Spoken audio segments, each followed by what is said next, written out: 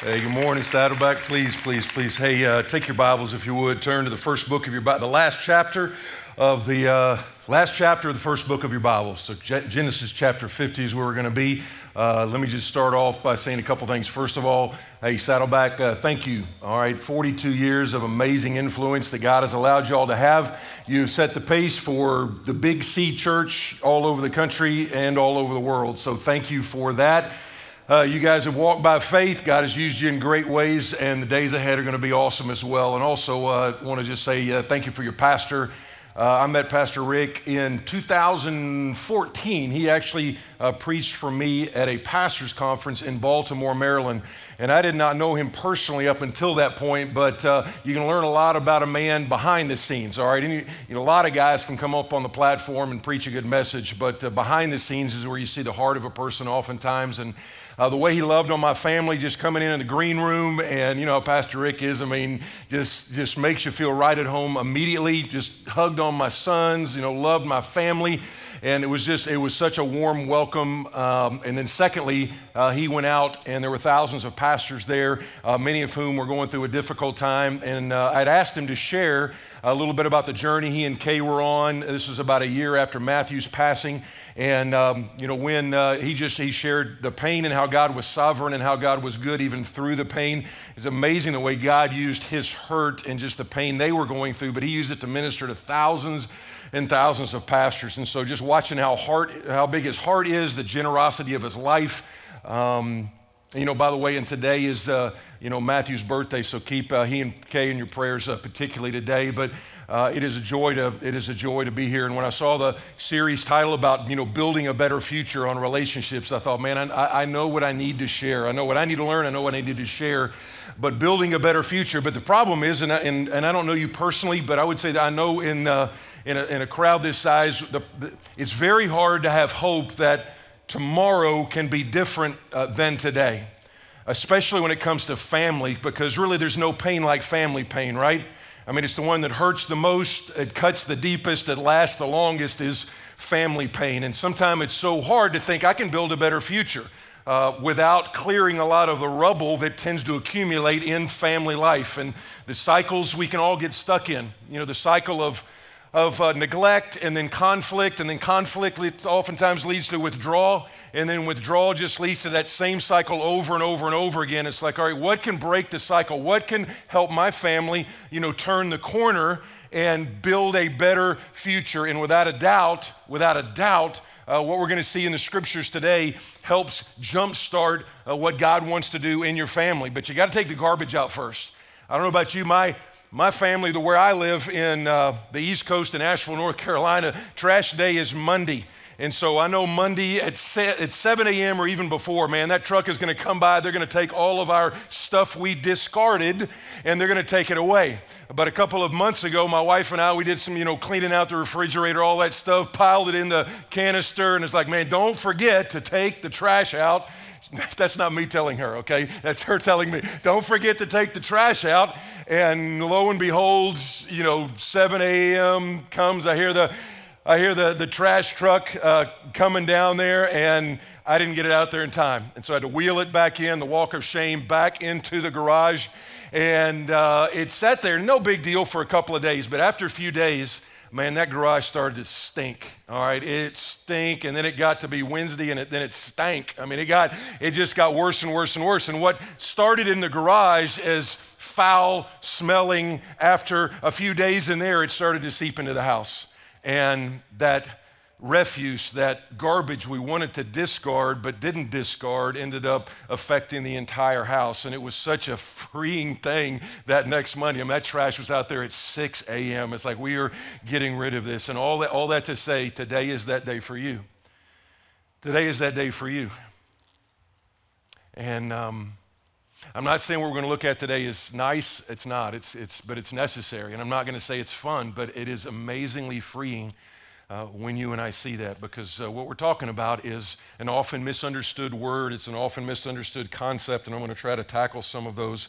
But again, the, sometimes the conflict from the past is so right on the surface. Maybe even this morning, uh, driving to church, there's conflict and hurt and anger and tension and toxicity in the family. How what's going to make a better day for my family? Without a question, God's prescription for relational failure is, is what he calls forgiveness. All right, and so um, I know different people are going to probably come to mind during the next few minutes.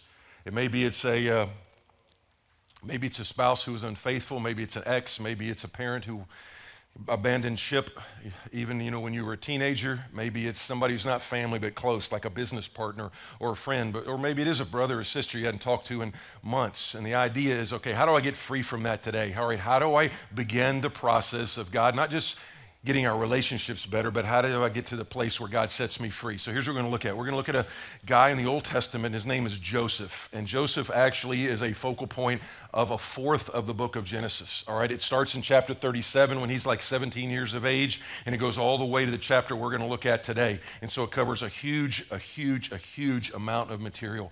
But I want to just tell you, Joseph is not Superman. One of the things I tell my church all the time is there are no heroes in the Bible but one, all right?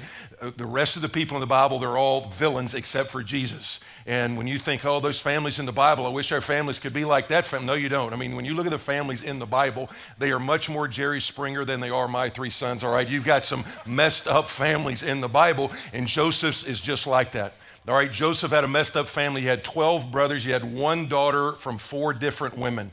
And not only that, the dad showed favoritism uh, to, uh, to Joseph. All right, he gave him the old, some of you all, uh, the, the, coat of many colors. Now, I know we got two groups today, and one of them, you guys are veterans. You know the Bible, you've read the Bible stories, you grew up in church. And for you, what I need you to do is you've got to make the conscious effort to take this story, take it off of the flannel graph, take it off of the kid's story, forget all the animated characters, forget all the, oh, the cute little coat of many colors. Forget that, all right? This is a real story with real people that has real relational pain in it.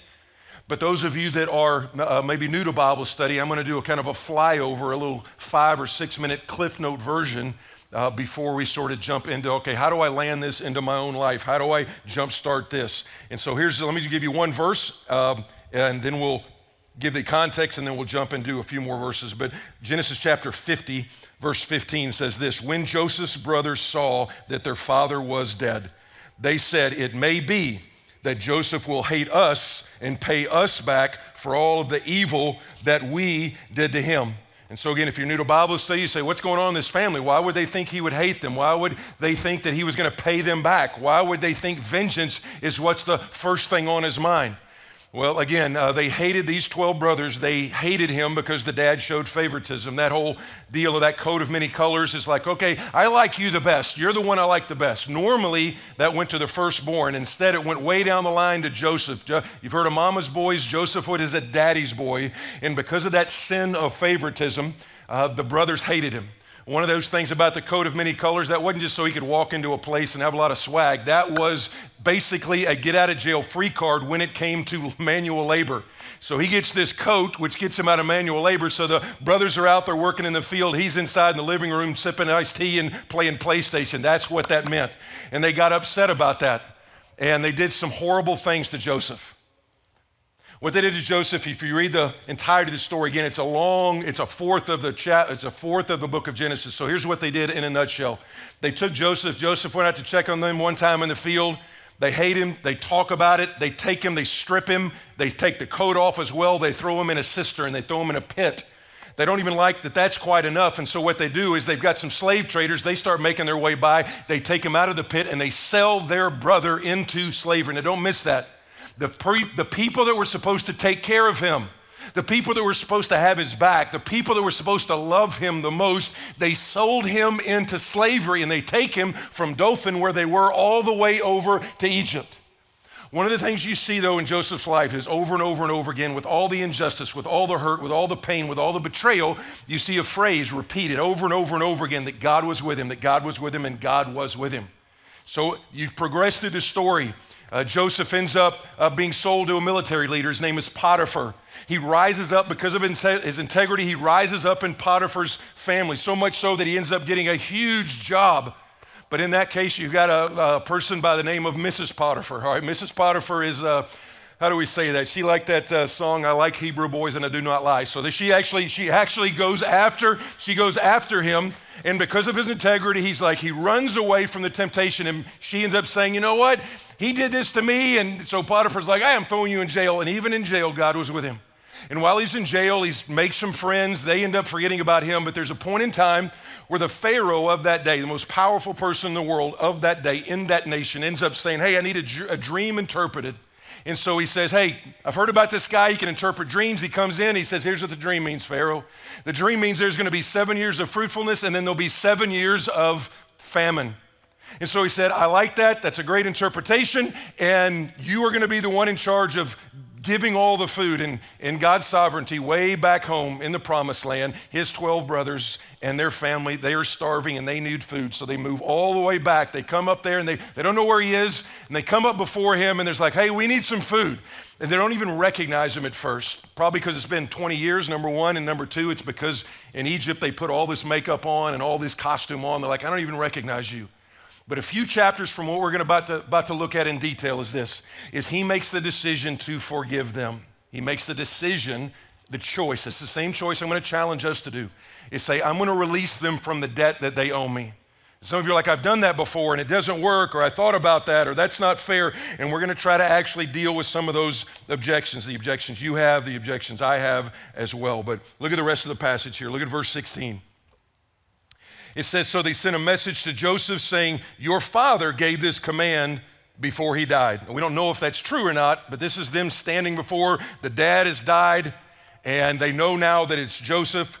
And here's what they're saying they're saying, Okay, your father gave this command before he died. Say to Joseph, Please forgive the transgression of your brothers and their sin because they did evil to you. Now, here's the idea, real quick. I'm going to come back to this.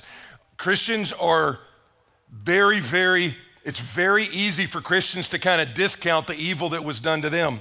Some of you are like, I don't even want to deal with that today, so it's like it's not a big deal and it doesn't affect me anymore. And listen, let me just say, when you say it doesn't affect me anymore, doesn't affect me anymore, please understand, loved one, listen to me. You're the only one that's close to you that actually thinks that. People that love you and are close to you, they know it does affect you because every time it comes up, every time she comes up, every time he comes up, every time that situation comes up, it's like, don't touch that, don't, don't, don't touch that. And so they called it evil. Even they knew it was evil. And then it says, And now please forgive the transgression of the servants of the God of your father. Joseph wept when they spoke to him. Verse 18, his brothers also came and fell down before him and said, Behold, we are your servants, which, by the way, is a fulfillment of the prophecy that he said earlier. That's one of the reasons they hated him, too. He said, Hey, one day you guys are going to work for me. And uh, then all of a sudden, uh, that is exactly what's happening. So here's the idea you, Joseph has three choices, you have three choices. There's not a person here that has not been injured in some way. And there's not a person in here that hadn't been injured by family, sometime intentionally, sometime unintentionally. Sometime they're enormous and huge, and sometime they're small. And please don't think that, uh, you know, flying yesterday morning all the way from the East Coast uh, over here, it's a lot of hours in the plane. Don't think that I didn't think about what could have walked in today in the sense of the pain and the injury and the anger and the bitterness and the baggage and the history that came in. So I'm not discounting anything. Just listen to me. But God wants to actually set you free. It's not about someone else as much as it's about you today. Because Joseph had three choices. Number one, he could be bitter and angry and vengeful. I mean, he could. He could have been so, he could have. Um, he could have done that. Going back to this, like, it doesn't affect me. When I think of people saying, you know what, that injury doesn't affect me, that haven't really dealt with it at all, uh, it's like that guy that plays basketball. You've seen him at the gym. You know, he used to be a great basketball player, used to be awesome. Maybe he was like even a pro, whatever. He was really good. But now he's not just older, but he's got banked up knees and maybe even a super injured knee. And you see him kind of dragging that knee around the basketball court. It's like, I can't. And you're like, hey, bro, what happened to your knee? What happened to your knee? He's like, what? Nothing happened to my knee. No, you're dragging it around. You're dragging it around. It's like, forget that. It's not hurt. You're like, whatever. In the same way, you're like, it doesn't affect me. It doesn't affect me. Time, time healed the wound. Time heals nothing.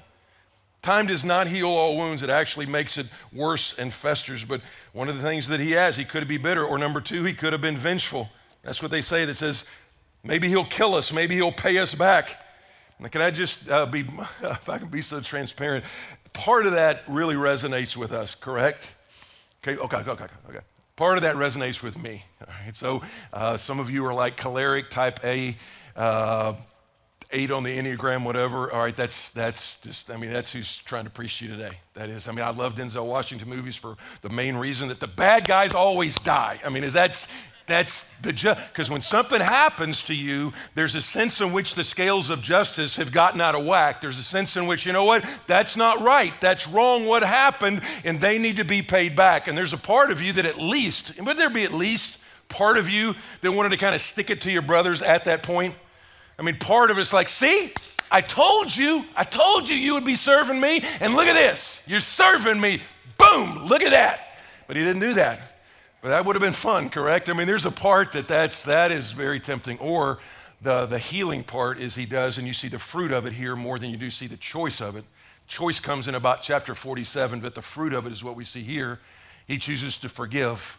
The word forgiveness means to remove or to take away. And make a little note for Bible geeks like me, you know, that's the first time this word is used in the Bible.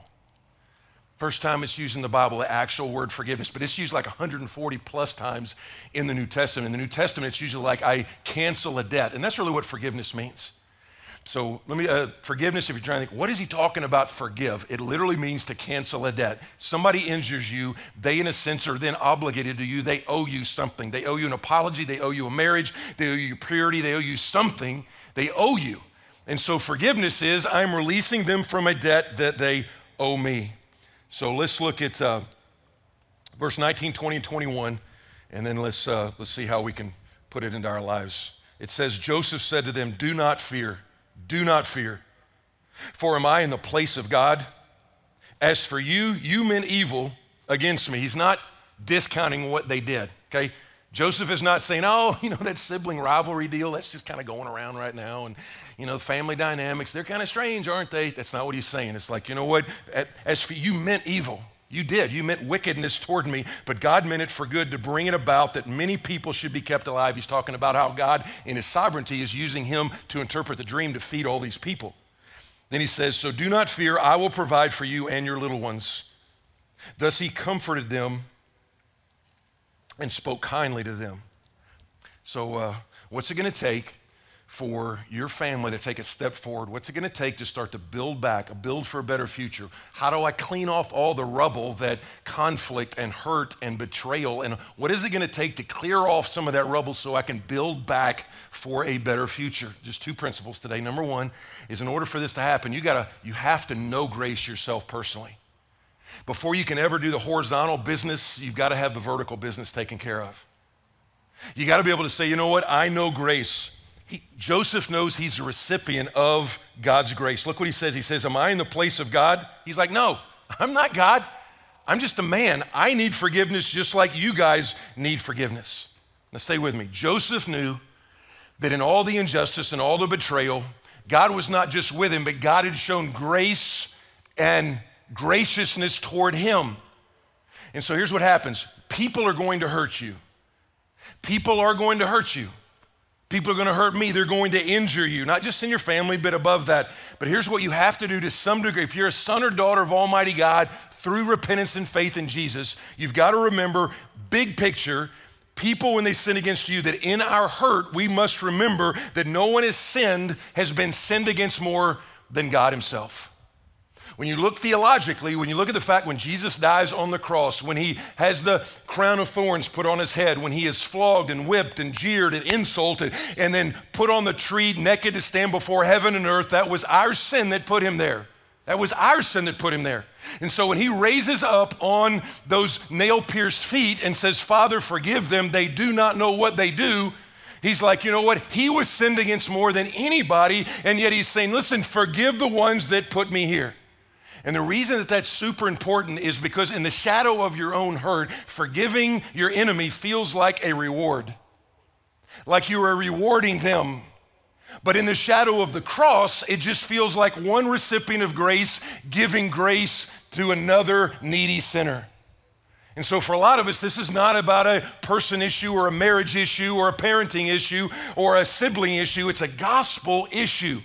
Do I understand what the Apostle Paul said when he said, Listen, Christ Jesus came into the world to save sinners, of whom I am the foremost? Not was the foremost, but who I am currently the foremost. My good friend J.D. Greear back in North Carolina, he says, when it comes to relationships, I am first a sinner, and then secondly, I'm sinned against. I'm first a sinner. I got to just keep that in mind. First of all, I am a sinner. Secondly, then, I am sinned against. Just that alone would help about 50% of the marriages at church today. First, I am a sinner. Secondly, I am sinned against. And there has to be a conscious choice to say, you know what, that's going to be bigger than that.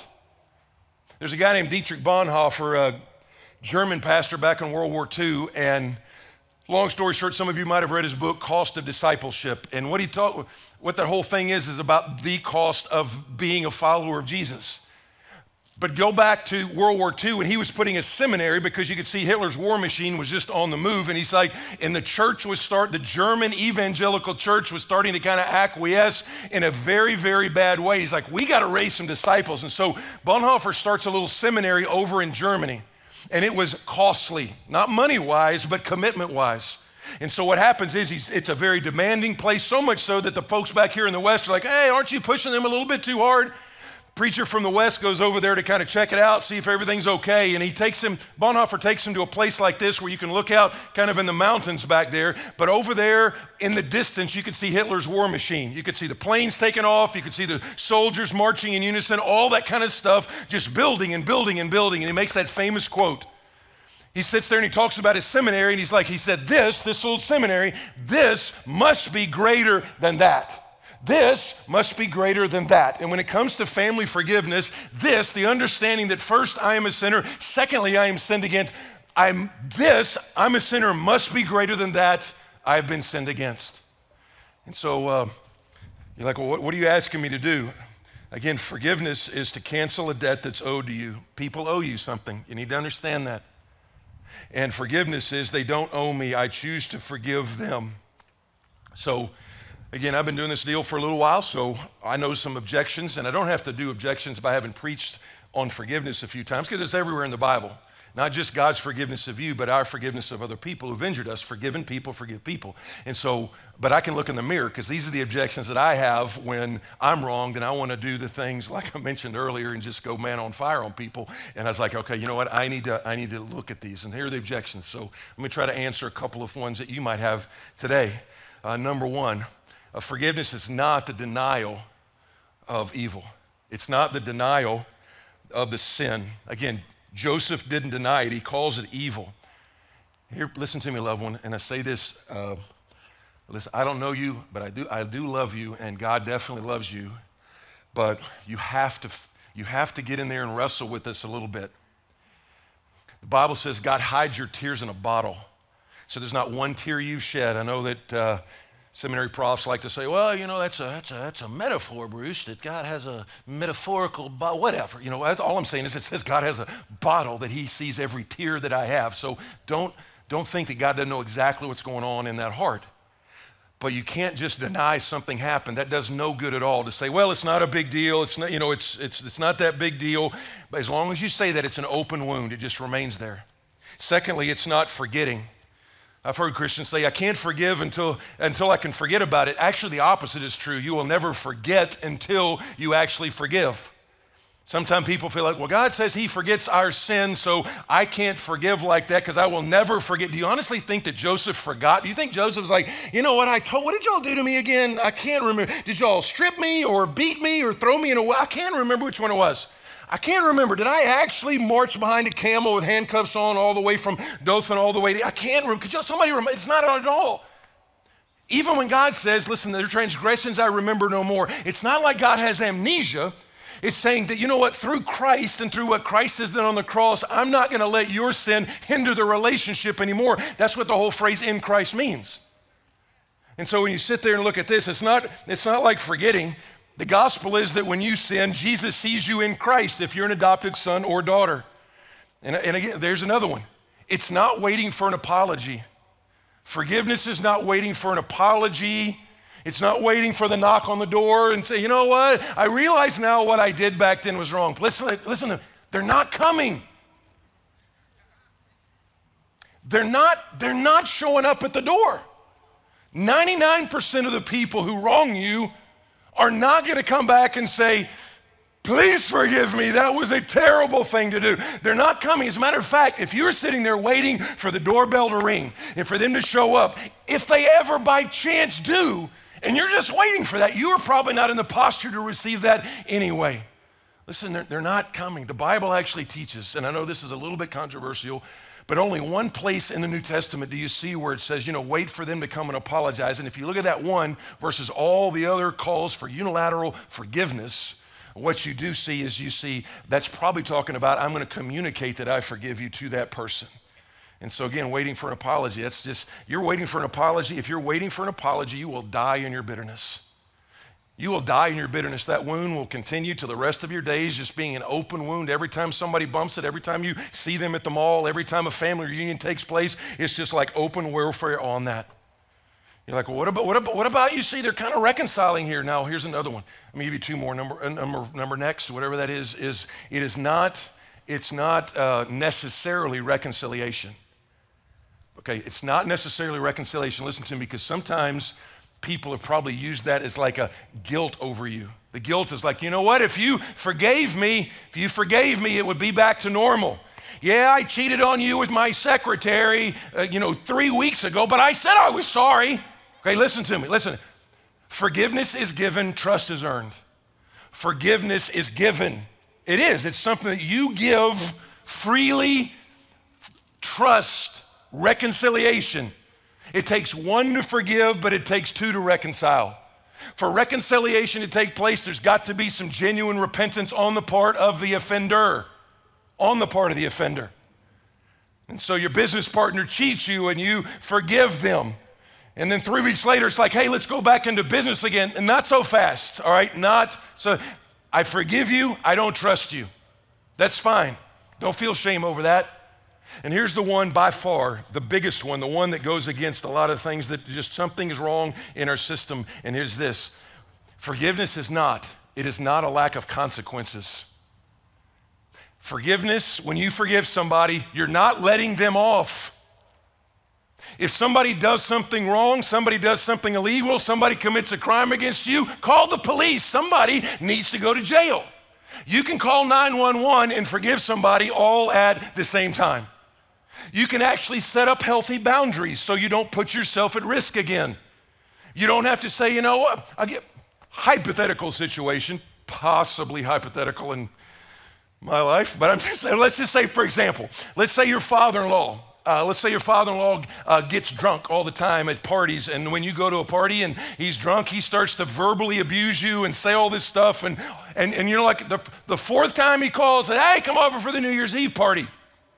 And you're like, you know what? Just we're going to stay at home tonight, or we're not going to do that. I thought you forgave me. It's like, listen, you can set up some healthy boundaries. You know what? Last time we went down that road, uh, this is what happened. The other time we went down, this is what happened. I love you. I forgive you uh, but we're just, we're not making the party tonight. Okay, forgiveness is not giving the debit card to the teenager who maxed it out the previous week, all right? You don't have, you can forgive, but it doesn't necessarily mean a lack of consequences. You're like, how do you even know that, Bruce? I mean, how do you know that? Uh, let me, the cross of Jesus, the cross of Christ. Do you think the cross of Christ was not have consequences? It absolutely did. The cross of Jesus is where the justice and the wrath and the holiness of God meets the love of God. It's not either or, it is both and.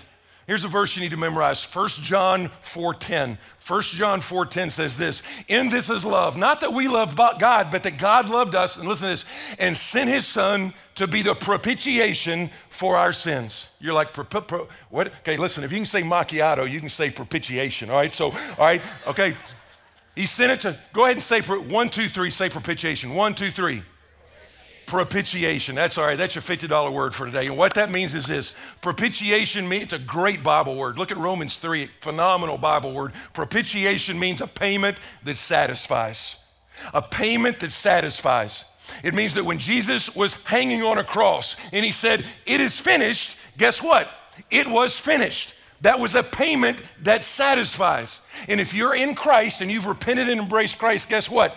If God is satisfied with Jesus' payment and you're in Christ, then that means God is not dissatisfied with you.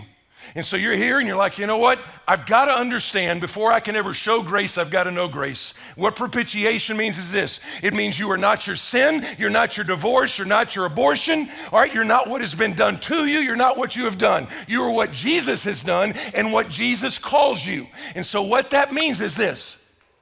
What that means is this. Now, this is going to be the person who offended you, either Jesus is going to forgive their sin just like he has yours or they're going to pay for their sin in eternity. But to think that, man, there's no consequences, they're going to get away with this. I mean, people, people don't get away with anything, not ultimately, not in eternity at all. And so, um, I got, I got to. Do you know that grace? Before we kind of go to that, okay, how am I going to deal with this today? Do you know the grace? Do you know what it's like to say, you know what, somehow, some way, what Jesus did on the cross counted for me? Counted for me. There's been a point where I said, I want you to be my boss. I don't want to be the boss of me anymore. I want you to be my boss. I want you to rescue me. If not, you can do that with your eyes open and your, your eyes open, your heads up, and just say, you know what? I, I believe that what Jesus did on the cross counted for me. Would you adopt me into your family? Make me your daughter. All right? Make, make much of yourself through my life. All right? Just that's repentance. I'm turning this way and I'm turning that way. But if I know grace, then the the overflow of that, because there's a possibility you can know grace and then walk out of church and disgrace the very grace that you claim to have inherited. Because it says you need to, need to know it, but then he says you need to show it. You need to show grace. So Joseph, um, Joseph made his choice to forgive, but you see the fruit of it just blossoming here. It says, "Don't fear." In other words, I'm not gonna, I'm not gonna take you out. All right, he comforted them. It's the idea of empathized with. It's the idea of showed some sympathy. What they talk about? I don't know. I don't know. What they tell you know, hey, if you're not if you're not sweating, you're not preaching, right? So um, is uh, were they, I don't know what they talked about. Maybe they, maybe they had good old stories of dad. But also, did you see this? The last one, it says he spoke kindly to them. One of the ways you know if you've actually forgiven somebody is the way you speak about that person. Jesus said this from the overflow of the heart, the mouth speaks. One of the ways that God has convicted me is if I start speaking down on somebody, usually in the root of it is some anger over something that somebody actually did toward me. And so, or at least my perception of that. So Joseph, um, and here's a thought. Do you think Joseph had any idea of the consequences of his decision? And think about it. If Joseph had chosen to wipe them out, these 12 brothers ended up being the 12 tribes of Israel. From the 12 tribes of Israel comes Jesus the Messiah. Jesus the Messiah said, Go and make disciples of all the nations. Jesus the Messiah, he burst the church. The church explodes 2,000 years ago, and here we are in California It's Saddleback Church that is a fruit of this. So you can trace it all the way back. What are the consequences of you making a decision like that today? We don't know. God only knows. At minimum, it's you being set free. But think about it. Could it also be that family member you have been praying to be saved for years and years and years? God, please save my uncle. God, please save my brother. Please save my parents, whatever that is. And all of a sudden, you have kind of nursed that hurt, and they see you extend grace. And then the light bulb goes on to say, you know what? If I can see grace given horizontally, and then maybe the light bulb goes on to say, now I can see the grace that God has shown me. So the consequences are big.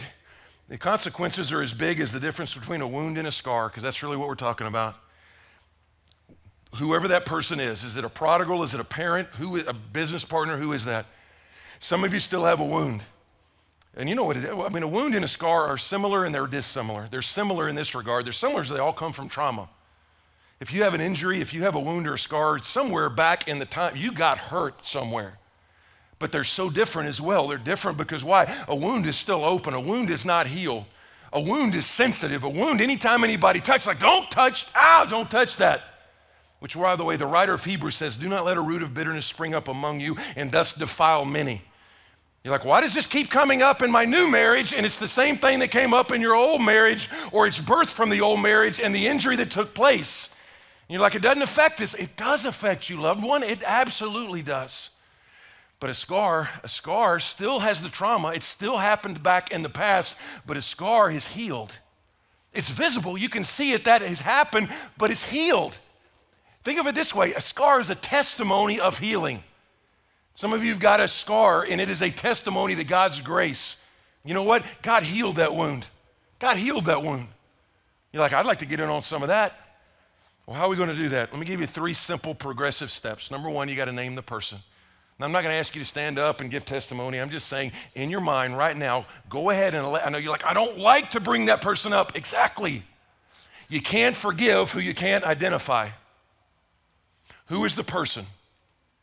Name the person in your mind. Go ahead and go there. Who is the person? You're like, oh, well, yeah, it's like nobody. I don't really have. Okay, let me ask it a different way. Who is in debt to you? Who's in debt to you? Or here's one. Who do you uh, who do you have imaginary conversations with?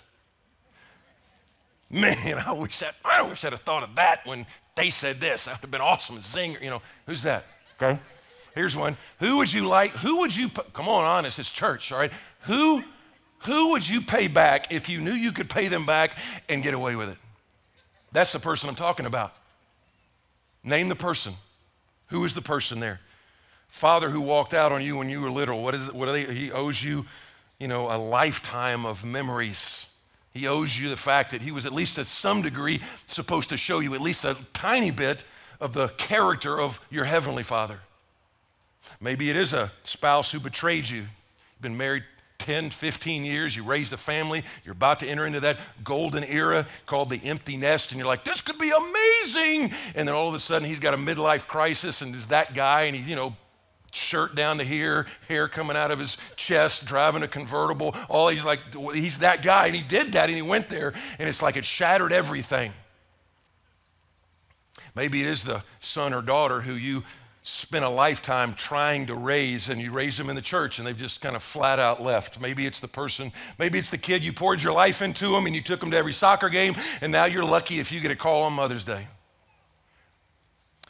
Determine what they owe you. Number one, identify, determine what they owe you. Now, you think this is kind of a silly step, but you, what we do is if we don't identify what they owe you, then we tend to forgive generally and not specifically. So, what do they owe you? Here's some possibilities. What they take from you? Okay, what do they need to return in order to make things the way they used to be? Is it an apology? Is it money, time, a marriage, a family, a reputation, an opportunity, a chapter of your life? I mean, again, be specific. Be specific. Like, this is what they owe me. This is the obligation. But let me also, let me say this a lot of times they can't even pay it back. How are they going to pay back your reputation, bro? How are they going to do that?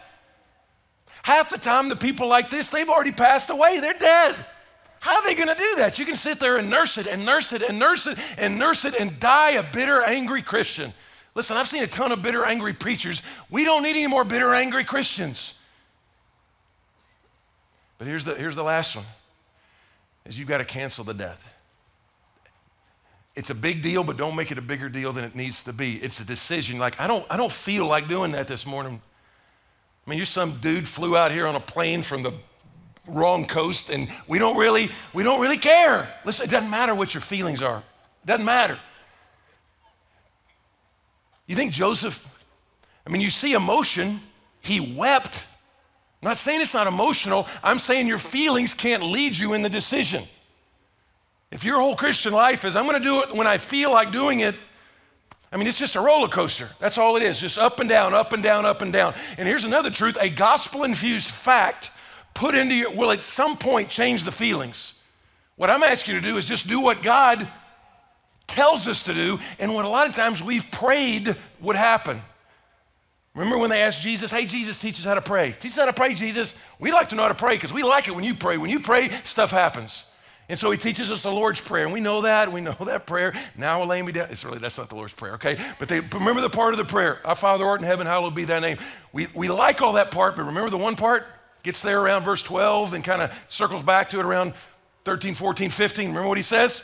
Forgive us our debts as we forgive our debtors. Is that not scary? Because what he's saying is listen, I'm praying the prayer the grace you show me would be the same level as I show other people. I don't, I don't think we want that. So, who is it? Here's a simple thing I'm going to ask you to do. Just if you can look on the screen and you can see the little fill in the blank thing, I want you to fill those blanks in. I mean, who is it? Just make the decision. Like, how do I do that? Here's the way just tell the Lord. Just say, you know what? Bob, Susie, Gertrude, whatever. He, they have taken, they have taken this from me. They took my, you put it, fill in the blank. I choose to cancel this debt just as you forgave me. I forgive and say it. So go ahead, bow your heads and close your eyes if you would, and just do a little, make that place a little altar, your chair a little altar, and just say, uh, just go ahead, bow your heads. Go ahead, it's going to be all right. Don't be afraid. Nobody's going to have a quiz after this. This is the time. This is why. This is a big reason of what God brought you to church today. Such a phenomenal worship. Well, the last song was what? I, I need you. I need you. So that's a great way to start this off. God, I need you. I don't want to do this, but I need you to, I need you to help me do this. Identify what's owed to you. Make the choice right now in church. You don't have to do this later on, just right now. You don't even feel like, God, I, this is what they owe me. I forgive for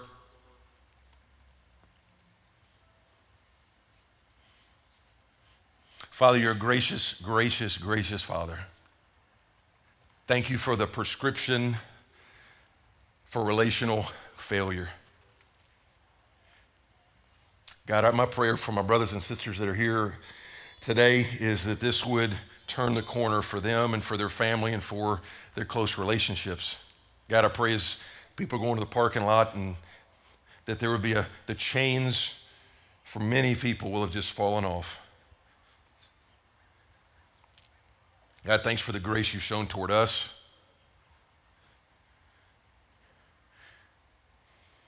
God, thanks for forgiveness. Help us to walk out and look a little bit more like you and being forgivers. In Jesus' name, amen.